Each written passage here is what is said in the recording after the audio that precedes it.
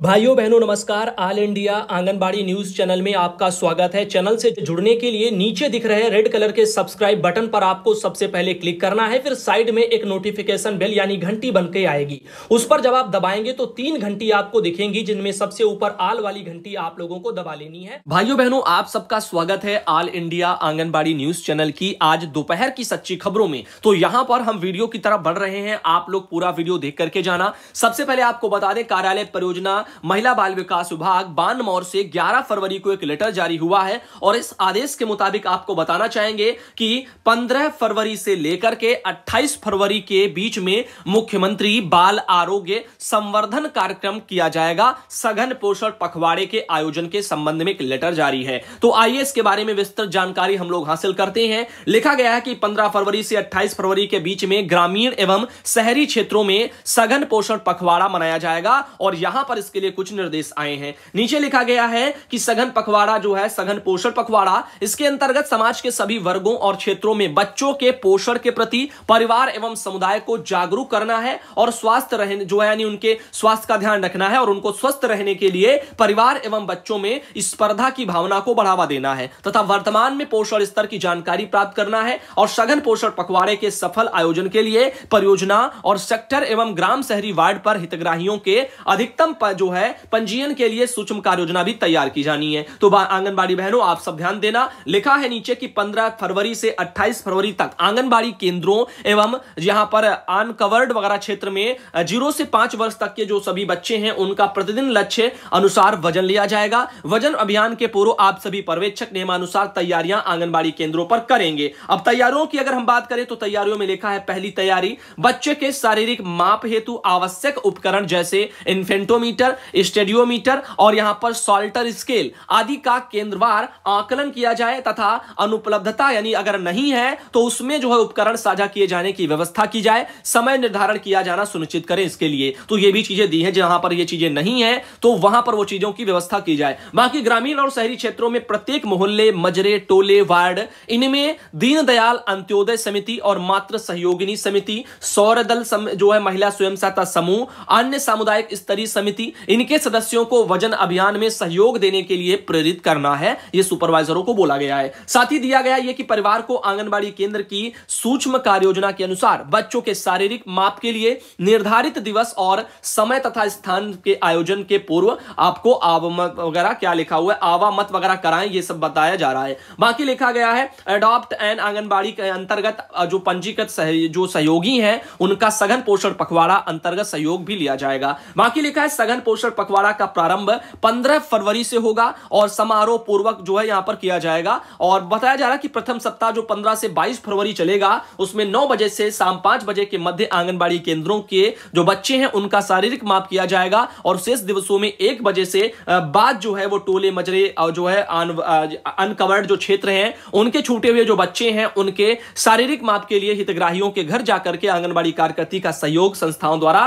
पोषण दस्तक वगैरह दी जाएगी। बाकी छठा है कि इस अभियान के दौरान समस्त कार्यकर्तियों एवं दलों को कोविड नाइन्टीन के बचाव के प्रोटोकॉल का अनिवार्यता पालन भी करना पड़ेगा। तो ये चीज़ें दी गई हैं। तो अब आंगनबाड़ी केंद्रों का पर्यवेक्षण करके सुपरवाइजरों को बोला जा रहा कि ये सब चीज़ें जो है निर्देश दो और ये काम कराओ और उसकी फोटोग्राफ्स जो है ग्रुप में डालो। परियोजना अधिकारी, महिला बाल विकास विभाग, बानमौर, जिला मुरैना और बानमौर वगैरह से ये ग्यारह फरवरी को लेटर जारी हुआ है और हमारे पास भेजा था इस लेटर को रेनू बहन जो मुरैना से आती है। बहन को धन्यवाद। अब चलते हैं अगली खबर पर। आपको बताना चाहेंगे कि ये भी जानकारी निकल के आ रही है और इसमें यहाँ पर बताया जा रहा है कि जिन स्कूलों की परिधि में आंगनबाड़ी नहीं है, वहाँ खुलेंगी बाल वाटिकाएँ। तो इसके बारे में थोड़ा चर्चा कर लेते हैं। पटना से यानी बिहार से खबर आ रही है। यहाँ पर यह भी बताया जा रहा है कि राज्य भर के जो आंगनबाड़ी केंद्र हैं, वो 25 फरवरी तक जो है, पास के जो स्कूल हैं, उनमें वो टैग कर दिए जाएँगे और स्थापना वे समग्र शिक्षा के बजट में इसको शामिल कर दिया जाएगा। बिहार की देखो, यहाँ पर गाँवों में, पंचायतों, प्रखंडों में स्थित जो है, सभी स्तर के सरकारी विद्यालय से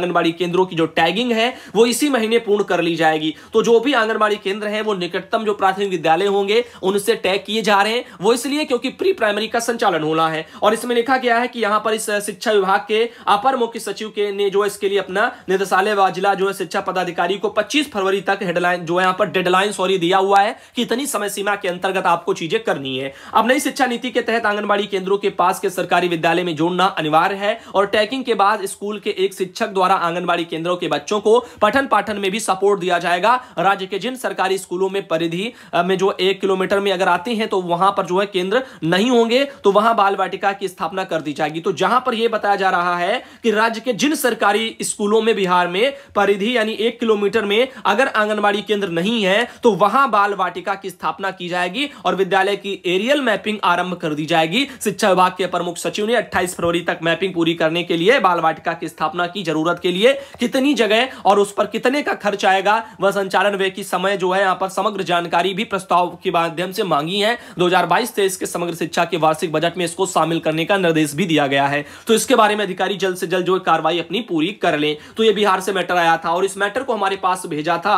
हमारे पास रिक्की कुमार भाई जो माधेपुरा से आती हैं और उनके अलावा एक ये बहन आती हैं, शांति देवी जो टीकमगढ़ से आती हैं और इनके अलावा एक बहन आती है, मंजू देवी जो भदोई से आती हैं। भाइयों बहनों अब बात कर लेते हैं मतदाता निर्देशिका के बारे में। तो यहाँ पर मुख्य निर्वाचन जो अधिकारी उत्तर प्रदेश के हैं, उनके द्वारा ये जो है जारी की गई है। और जैसा कि आपको बता दें कि मुख्य निर्वाचन अधिकारी ने कहा कि पोस्टल बैलेट के बारे में क्या जानकारी साझा की है। क्यों? तो यहाँ पर निम्नलिखित जो व्यक्ति हैं, वो बारह डी वाला फॉर्म भर करके पोस्टल बैलेट सुविधा का लाभ ले सकते तो अगर कोई पोस्टल बैलेट से जो है वोट डालना चाहे तो बारह डी फॉर्म भरेगा। लिखा है, अस्सी वर्ष से अधिक आयु के जो बुज़ुर्ग हैं, या फिर मतदाता सूची में पंजीकृत दिव्यांगजन हैं, या फिर कोविड नाइन्टीन से संक्रमित या संदिग्ध कोविड रोगी हैं। तो इनके लिए यह सुविधा है। बाकी देखिएगा, अपने बीएलओ को जो है जानने के लिए आपको क्या करना होता है कि यहाँ पर आपका ईसीआई e और कॉन्टेक्ट फिर लिखो, फिर यहाँ, ये लिखो ईसीआई e कॉन्टेक्ट फिर स्पेस दो, फिर उसके बाद में इपिक नंबर अपना डाल दो और फिर जो है एसएमएस कर दो कितने पर? 1950 पर। बाकी देखिएगा, इस तरह से यहाँ पर चीज़ें लिखी अपने प्रत्याशी को भी जानने के लिए आप जो है यहाँ पर इन चीज़ों का प्रयोग कर सकते हैं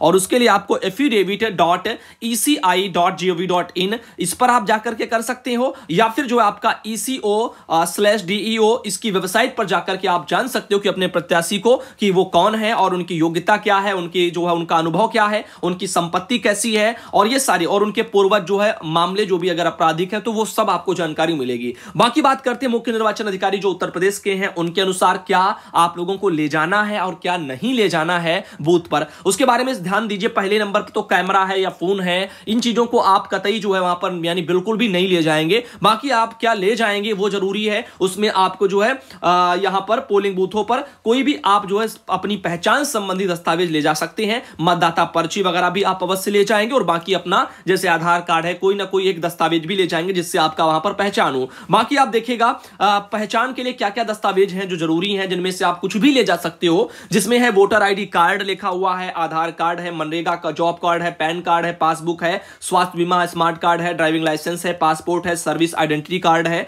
और स्मार्ट कार्ड है, पेंशन डॉक्यूमेंट है और आधिकारिक पहचान पत्र वगैरह के रूप में अगर आप जो किसी सांसद, विधायक या राज्य विधानसभा परिषद के किसी भी जो है सदस्य द्वारा जारी कोई भी जो है अपनी पर्ची टाइप का कुछ भी ले जा सकते हो उनकी अनुमति के लिए। बाकी देखिए, मतदान व्यवस्था के नमूनों का चित्रण देखो, यहाँ पर दिया गया है कैसे कैसे क्या चीज़ें होती हैं। तो सबसे पहले आपको हम बता दें, मतदान प्रक्रिया स्टार्ट होती है तो सबसे पहले आपको जो क्या करना है, सामाजिक दूरी का पालन करना है। यानी एक कतार बनाइए, सर्किल बने होंगे, उनमें जो दूर दूर लोग खड़े होंगे। और उसके अलावा प्रथम मतदाता जो अधिकारी होते हैं, वो आपका नाम और पहचान संबंधी दस्तावेजों की जाँच करते हैं, जैसे कि ये यहाँ पर बैठे हैं। प्रथम अधिकारी इस तरह के, और वो आपका दस्तावेजों की जाँच करेंगे। बाकी देखिएगा द्वितीय जो मतदान अधिकारी होते हैं, वो आपकी जो है उंगलियों पर निशान लगाते हैं, और जो आपको एक पर्ची जो है देते हैं। वो पर्ची आप जो है अपने अगले, जो तीसरे आपके जो है मतदाता अधिकारी या सॉरी, मतदान अधिकारी, उनको आप देते हैं, और वो फिर क्या करते हैं, उसमें नाम वाम ढूंढते हैं, और आपके जो यहाँ पर निशान जो लगा है, जो पिछले अधिकारी ने लगाया था, उसकी जाँच करते हैं। उसके बाद में आप फिर अपना जो है,